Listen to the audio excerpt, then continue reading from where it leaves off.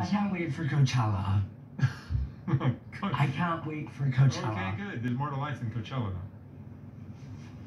It's a start. It's something. Hopefully, we'll get you stabilized and If anyone wants to give me a ride to Coachella, by the way, no.